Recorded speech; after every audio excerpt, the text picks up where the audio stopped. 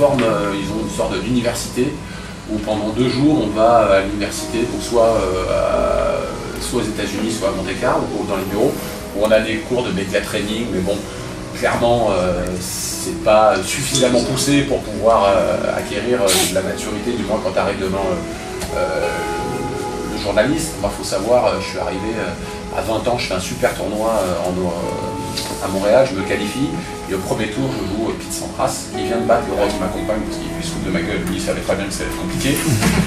Et là, je sens que ça.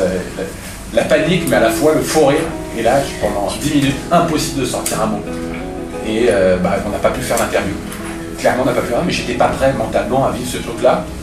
Euh, et donc, du coup, c'est là où tu t'es dit, je me il a une tweet, il audra raciste, euh, il parle, il insulte l'arbitre, machin, manque de respect, machin. Et là, qu'est-ce qui se passe? Prends même pas d'avertissement, rien du tout pendant le match, hein, rien du tout. Je perds mon match, je fais ma presse, tout ça, machin. Le soir à 19h, coup de fil, euh, Étienne Moujotte, euh, donc euh, directeur de TF1, qui me dit on a besoin de vous, c'est un buzz énorme, il faut absolument que tu viennes sur le plateau de TF1 ce soir en prime, il faut que tu réagisses.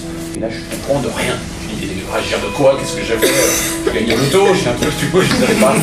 Et là, il dit non, euh, et au même moment, j'entends sur mon téléphone, j'entends que je reçois des textos, ça machin, je dis bah écoutez, je vous rappelle, je sais pas du tout, mais enfin, il me raconte un petit peu l'histoire.